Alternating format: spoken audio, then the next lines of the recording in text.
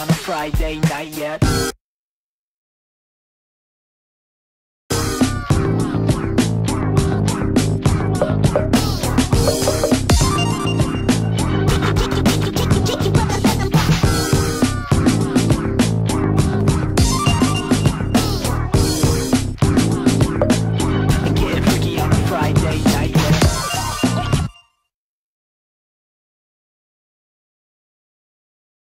Three, two, one, go!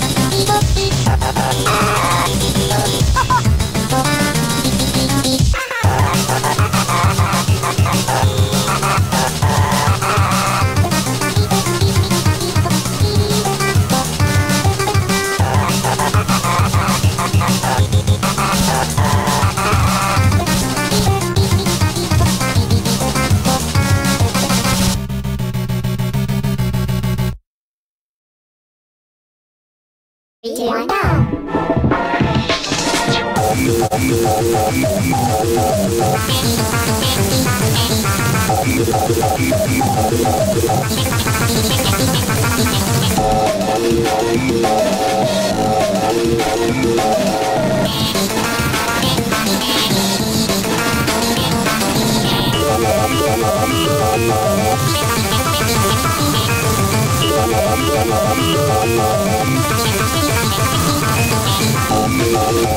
Three,